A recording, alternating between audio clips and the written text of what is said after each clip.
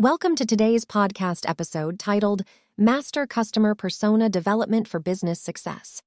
In this episode, we'll dive into the world of customer persona development and explore how it can contribute to the success of your business. So let's get started. As businesses strive to outpace their competitors and cater to their customers' needs, understanding their target audience becomes crucial. This is where customer persona development comes into play. Customer persona development involves creating accurate representations of your target audience, enabling you to tailor your strategies accordingly. Understanding your target audience. Before diving into customer personas, it's vital to understand your target audience. This involves conducting thorough audience research to identify their wants, needs, and pain points. By doing so, you can create customer personas that accurately reflect the behaviors and attitudes of your audience. Types of customer segmentation. There are various types of customer segmentation that you can employ to understand your target audience better. These include geographic, demographic, psychographic, and behavioral segmentation. Each type offers a unique perspective on your customers, helping you create comprehensive customer personas. Analyzing your audience. Once you've conducted audience research, it's essential to analyze the data to identify common themes and insights. This entails looking at demographics, psychographics, and behavioral data to uncover patterns and trends. By doing this, you can create customer personas that effectively represent the attitudes and behaviors of your target audience. What is a persona? A persona is a semi fictional representation of your ideal customer based on research and data about their demographics, behavior patterns, motivations, and goals. These personas help businesses empathize with their customers, enabling them to craft more relevant marketing campaigns, products, and services. There are three main types of personas buyer personas, user personas, and negative personas. Creating effective personas. Creating effective personas involves gathering data from various sources, such as customer surveys, website analytics, social media insights, and customer interviews.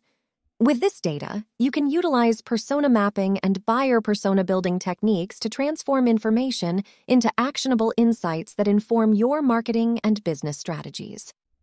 Developing a persona. Developing a persona is a multi step process, including data gathering, narrative creation, and validation. To create successful personas, remember to use real data, avoid assumptions, incorporate emotions, create a narrative, and validate your personas with real customers. Persona mapping. Persona mapping helps you visualize your customer personas and their relationships, aiding in identifying gaps in your understanding and refining marketing strategies. To create a persona map, identify your personas, map out relationships, and identify gaps in your customer knowledge. The benefits of persona development. Developing customer personas brings numerous benefits to businesses, including better decision making, more relevant content, improved customer engagement, and enhanced customer experience. Despite challenges, persona development is essential for targeted marketing, customer engagement, and business success. Using personas in marketing. Personas are powerful tools in marketing, providing insights into your target audience's needs and desires. Using personas, you can create targeted messaging, develop content, choose the right marketing channels, and tailor your products and services to better meet your audience's needs.